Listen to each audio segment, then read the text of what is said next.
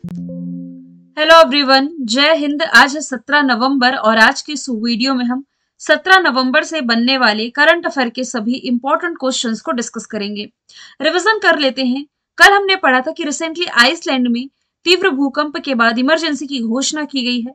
Recently ग्रामीण विकास मंत्रालय के द्वारा नई चेतना 2.0 अभियान ये चलाया गया है। आईसीसी हॉल ऑफ़ फेम में शामिल होने वाली पहली भारतीय महिला क्रिकेटर बनी है। डायना एल्डुजी माउंट एवरेस्ट के पास 21,500 फीट की ऊंचाई से स्काई डाइव करने वाली पहली महिला बनी है Sheetal Mahajan. Recently Billie Jean King Cup 2023 का जीता है कनाडा ने। बिली जीन किंग कप जो कि महिलाओं के टेनिस से रिलेटेड है। एशिया और प्रशांत के लिए world organisation for animal health क्षेत्रीय आयोग का जो तैतीसवां सम्मेलन रहा ये भारत में ही दिल्ली में आयोजित किया गया। सहारा समूह के जो संस्थापक थे, सुब्रत राय, इनका रिसेंटली निधन हुआ। इसराइल पैलेस्टाइन विवाद में रिसेंटली अपने देश भारत ने यूनाइटेड नेशंस में इसराइल के खिलाफ मतदान कर दिया है। समान नागरिक संहिता अपनाने वाला पहला राज्य उत्तराखंड बना, जबकि झारखंड ने 15 नवंबर को अपना स्थापना दिवस मनाया है। तो सभी क्वेश्चन हम लोगों ने कल पढ़ लिए थे। चलिए शुरू करते हैं आज का हमारा पहला सवाल। भारत और किस देश के बीच में संयुक्त सैन्य अभ्यास है, जिसका नाम है मित्र शक्ति 2023 इसका आयोजन किया जा रहा है। तो रिसेंटली भारत और श्रीलंका के बीच में संयुक्त सैन्य अभ्यास, मित्र शक्ति, इसकी शुरुआत हो चुकी है। कल से, यानी कि 16 नवंबर से इसकी शुरुआत की गई है और ये 29 नवंबर तक आयोजित किया जाएगा। आयोजन हो कह रहा है? भारत में ही, पुणे, महाराष्ट्र में इसका आयोजन किया जा रहा है। और भारत का प्रतिनिधित्व इसमें मुख्य रूप से मराठा लाइट इन्फेक्टिव रेजिमेंट के सैनिकों के द्वारा है जो कि ये किया जा रहा है। ठीक है? तो अब यदि हम बात करें श्रीलंका की, भारत का पड़ोसी है, ये गल्फ ऑफ़ मन्नार और पाक की खाड़ी के माध्यम से भारत से सेपरेट होता है। इसकी कमर्शियल कैपिटल कोलंबो है एग्जीक्यूटिव कैपिटल ये हो जाएगी जयवर्धनेपुरम गोटे। करेंसी श्रीलंकाई रुपी प्रेसिडेंट रनिल विक्रम संघे प्राइम मिनिस्टर दिनेश गुणवर्धने हो जाएँगे। अभी आपको मालूम होना चाहिए कि रिसेंटली जो हमारी वित्त मंत्री है निर्मला सीतारमन जी, इन्होंने इसी श्रीलंका में आरबीआई के ब्रांच का उद्घाटन किया है। इसके अलावा यदि आप रिलेट करें तो इस साल का मैं यहाँ लिख देती हूँ ताकि स्पष्ट रूप से आपको दिखाई दे। देखिए, इस साल का जो एशिया कप रहा था, एशिया कप 2023 ये मैं पुरुषों के एशिया कप की बात कर रही हूँ जो कि श्रीलंका और पाकिस्तान दोनों ने ही होस्ट किया था। तो इसका जो फाइनल खेला गया था ना कोलंबो में, इसका विजेता भारत रहा था। भारत ने किसे हराया था? भारत श्रीलंका को हरा करके विजेता बना था। ठीक है? इसके अलावा आप क्या रिलेट कर सकते हैं? अभी तो वर्ल्ड कप से श्रीलंका बाहर हो चुका है। आप ये रिलेट कर सकते हैं कि भारत की पहली अंतरराष्ट्रीय क्रूज सर्विस ये भारत और श्रीलंका के बीच में ही शुरू होने जा रही है। ऑप्शंस के थ्रू हम कुछ अन्य एक्सरसाइज रिलेट करेंगे, जो कि भारत की अन्य कंट्रीज़ के साथ होती है। एक तो देखिए, युद्ध अभ्यास है, वज्र प्रहार है, कोप इंडिया है, संगम है, टाइगर ट्रंप है, और इसके अलावा भारत अमेरिका के बीच में पहली बार तर्कस अभ्यास का आयोजन किया गया। तो यहाँ से अमेरिका के साथ ये छह अभ्यास आपको याद रखना है तर्कश को इंपॉर्टेंट मार्क करिएगा, क्योंकि ये पहली बार आयोजन हुआ है। फ्रांस के साथ भारत की जो एक्सरसाइज है, इसमें एक आप रिलेट करें तो शक्ति है, वरुण है और गरुण है। पहली बार भारत फ्रांस के बीच में फ्रेंजेक्स एक्सरसाइज का आयोजन किया गया था। ब्रिटेन के साथ भारत की होने वाली एक्सरसाइज में आप रिलेट कर सकते हैं कोमकड़ और अजय वॉरियर तो एक प्रश्न से आप देखिए, कितनी सारी एक्सरसाइज हमने रिलेट कर ली है ऑप्शन के थ्रू आगे चलते हैं। एडेल गिव ह्यूरन इंडिया परोपकारी लिस्ट जारी की गई है 2023 की। इसमें नंबर वन दानवीर, ये बने हैं शिवनादार शिवनादार जो कि SCL के को फाउंडर है, हिंदुस्तान कंप्यूटर लिमिटेड के। यानी कि 2023 में ना सबसे ज़्यादा दान इन्हीं के द्वारा किया गया है। 2042 करोड़ का। हर दिन यदि हम देखें तो 5.6 करोड़ रुपीस इनके द्वारा दान किए गए हैं। शिक्षा, कला और संस्कृति के क्षेत्र में। अजीम प्रेम जी, ये विप्रो के संस्थापक हैं। गौतम अडानी की यदि मैं बात करूँ तो अडानी ग्रुप के ये मालिक है। ये वही अडानी है, अडानी ग्रुप जिसने की कड़ाईकल पोर्ट का अधिग्रहण किया है। कड़ाई कल पोर्ट, जो कि कहाँ है आपकी? पुदुचेरी में। रतन टाटा जी से आप ये रिलेट कर सकते हैं। इन्हें ऑर्डर ऑफ़ ऑस्ट्रेलिया से सम्मानित किया गया है। Legend, order of Australia. इससे सम्मानित किए गए हैं। ठीक है? रतन टाटा जी का नाम आप यहाँ से याद रखें।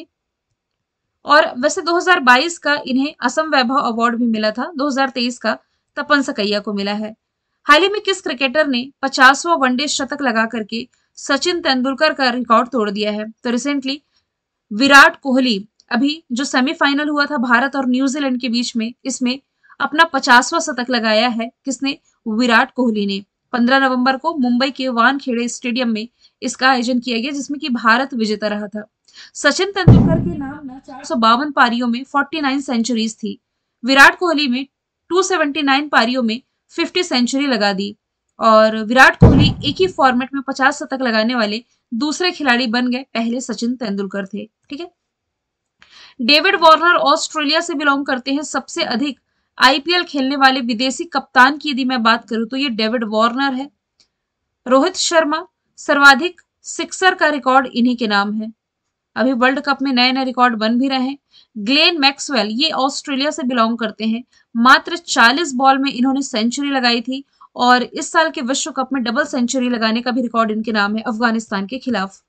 आगे चलते हैं आईसीसी वनडे।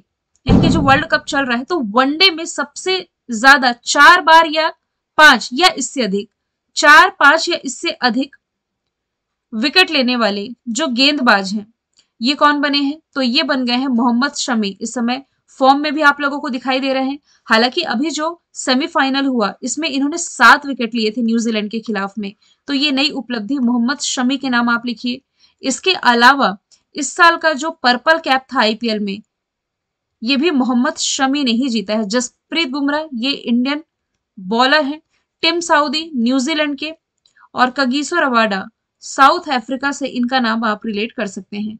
यदि मैं बात करूँ आईसीसी की, यानी कि इंटरनेशनल क्रिकेट काउंसिल की तो 1909 में इसकी स्थापना की गई थी। दुबई यूए में हेडक्वार्टर है ग्रेग बार्कले अध्यक्ष है। आगे चलते हैं। भारतीय रेलवे की वन स्टेशन वन प्रोडक्ट पहल अब तक कितने स्टेशनों पर लागू है? तो ये एक स्टेशनों पर चालू है। ये पहल स्थानीय लोगों को स्वदेशी उत्पाद बेचने के लिए विशिष्ट रूप से डिज़ाइन किया गया है। ये जो योजना है national institute of design Ahmedabad के द्वारा डिज़ाइन की गई है। पायलट प्रोजेक्ट ये पिछले साल मार्च के महीने में शुरू किया गया था। यदि मैं बात करूँ भारतीय रेलवे की तो रेल मंत्री अभी कौन है वर्तमान में? ये हो जाएँगे अश्विनी वैष्णव। ये तो हमारे रेल मंत्री हैं, लेकिन आपको ये भी याद रखना है कि रेलवे बोर्ड के इतिहास में मतलब कि 1905 में, जब से रेलवे बोर्ड का गठन किया गया है तो रेलवे बोर्ड के इतिहास में अभी तक कोई भी महिला अध्यक्ष नहीं रही थी, जो कि अभी हाल ही में जया वर्मा सिन्हा लगभग दो महीने पहले इनकी नियुक्ति की गई है। ठीक है? जया वर्मा सिन्हा, इनका नाम आप याद रखेंगे। राष्ट्रीय प्रेस दिवस कब मनाया गया? तो ये रिसेंटली मनाया गया है 16 नवंबर को। दरअसल 1956 में भारत में प्रेस की स्वतंत्रता की रक्षा के लिए एक प्रेस परिषद बनाने के लिए पहले प्रेस आयोग की योजना बनाई गई थी तो 4 जुलाई उन्नीस को भारतीय प्रेस परिषद की स्थापना हुई और ये 1966 यानी कि नवंबर के महीने में 16 तारीख से ये प्रभावी हुआ था। इसलिए हर साल 16 नवंबर को राष्ट्रीय प्रेस दिवस के रूप में मनाया जाता है। ये जो लास्ट की लाइन मैंने मेंशन करी है इंपॉर्टेंट मार्क करिए इसे। इस साल का जो प्रेस फ्रीडम इंडेक्स रिलीज़ किया गया है 180 देशों में भारत को एक स्थान मिला है टॉप पर फिर से इसमें माफ़ कीजिएगा, आइसलैंड नहीं होगा, नॉर्वे होगा।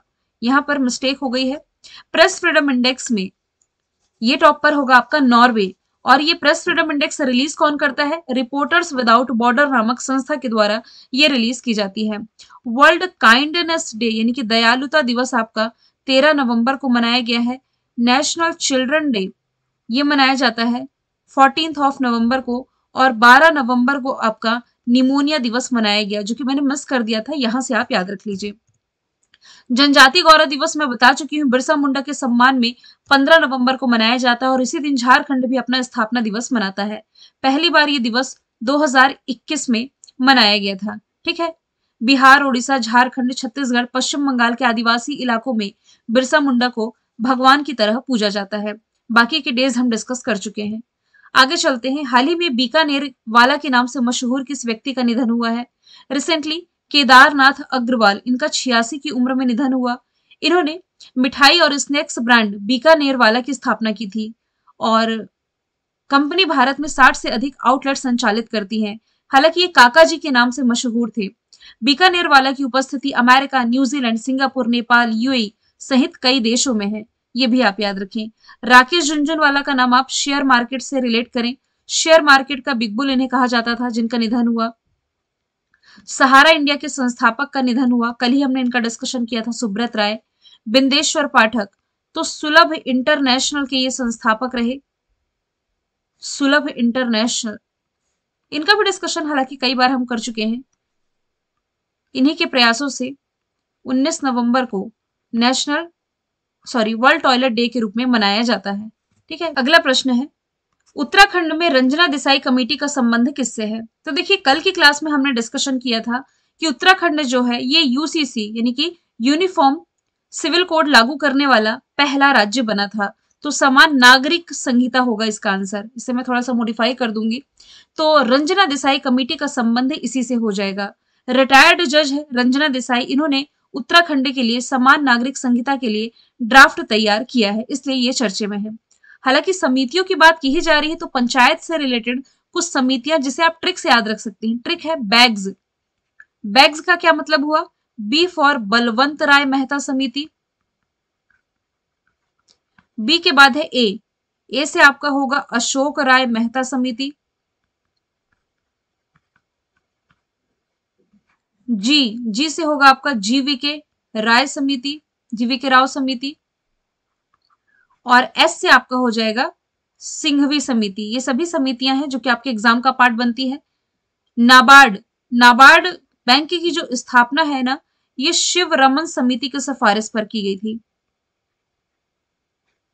जीएसटी जीएसटी लाने की सिफारिश भारत में, जो जीएसटी एक जुलाई 2017 से लागू किया गया है, विजय केलकर समिति की सिफारिश पर। ये आप याद रखें। पूसा 2090 निम्नलिखित में से किस फ़सल की किस्म है? तो ये चावल की फ़सल की किस्म है जो कि चर्चे में है। रिसेंटली आईएआरआई यानी कि इंडियन एग्रीकल्चर रिसर्च इंस्टीट्यूट के किसानों ने धान की एक नई किस्म तैयार की है, जिसे नाम दिया गया है पूसा 2090 इस किस्म की खासियत ये है कि ये पूसा 44 की तुलना में ज़्यादा जल्दी पक करके तैयार हो जाती है। ठीक है? अगला प्रश्न, ग्यारहवा बारहवा प्रश्न मैंने वन लाइनर में ऐड किया है। किस देश के पूर्व क्रिकेटर मुथैया मुरलीधरन की बायोपिक 800 रिलीज़ हुई है? तो ये श्रीलंका के पूर्व क्रिकेटर 19वें कलाकार पुरस्कार से सम्मानित किया गया है अपोली नारिस डिसूजा को। स्टैटिक जीके में मेंशन किया है कि मौलिक अधिकार निलंबित ये प्रेसिडेंट के द्वारा किए जा सकते हैं। भारतीय संविधान में जो मौलिक कर्तव्य है, सोवियत संघ रसिया से लिया गया है। कांग्रेस के पहले अधिवेशन की अध्यक्षता व्योमेश चंद्र बनर्जी ने की। लंदन में इंडिया हाउस की स्थापना श्याम कृष्ण वर्मा ने। सरकारी आयोग का गठन उन्नीस में किया गया। उन्नीस सौ उनतीस में कांग्रेस के लाहौर अधिवेशन की अध्यक्षता जवाहरलाल नेहरू ने की। भारतीय राष्ट्रीय कांग्रेस की स्थापना अठारह में हुई। सत्यमेव जयते यानी कि सत्य की ही विजय होती है। ये मुंडकोपनिषद से लिया गया है, आप याद रखें। और कांग्रेस की पहली महिला अध्यक्ष एनी बेसेंट थी। अभिनव भारत के संस्थापक वीडी सावरकर है। ठीक है? चलिए। मैंने कल आपसे पूछा था united nation world tourism organisation के द्वारा किस गाँव को सर्वश्रेष्ठ पर्यटन गाँव चुना गया है? गुजरात का धोरड़ गाँव है। कौन सी राज्य सरकार है जो कि गायों की जनगणना कराने जा रही है? आंसर आप इसका कमेंट बॉक्स में बताएँ। आप मुझे पर्सनली मेल कर सकते हैं, मेरी मेल आईडी पर इंस्टाग्राम पर फॉलो कर सकते हैं। मेरे टेलीग्राम चैनल से जुड़ सकते हैं डेली की क्विज और पीडीएफ के लिए। फिर हम मिलेंगे नेक्स्ट वीडियो में। Thank you so much